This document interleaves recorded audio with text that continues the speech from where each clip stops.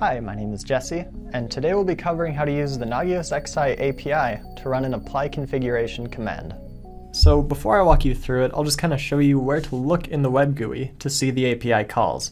First thing you'll do is press the Help tab up at the top of the Nagios XI homepage, and then go to System Reference. This is, uh, this is where you'll see all the system commands, or the system API calls rather, for Nagios XI.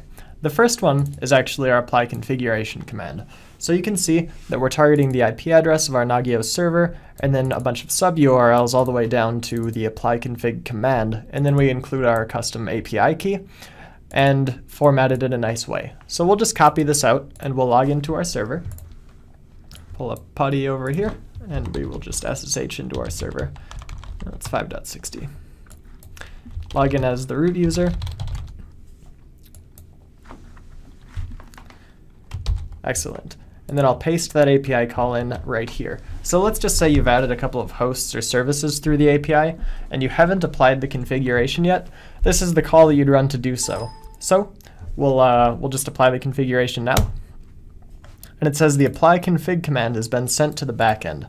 Now what this means is that Nagios is going to reload the, uh, the Nagios process in the backend. And if we actually take a look at the Nagios process, let's just grep for slash bin slash nag, you can see that it's running right here. And it's been running since 1343, which is, in fact, just about a minute ago when I applied that configuration. So you can tell that the, the Nagios process has actually restarted via that API call.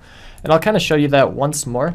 So if we take the apply config command, paste it here, and then take a look at the Nagios process once more with that grep. You can see that it's been running since 1344 this time, meaning it's just restarted once more. So that's how you know that the apply config has gone through appropriately, is if the Nagios process in fact does, uh, does in fact reload. And that's all there is to it.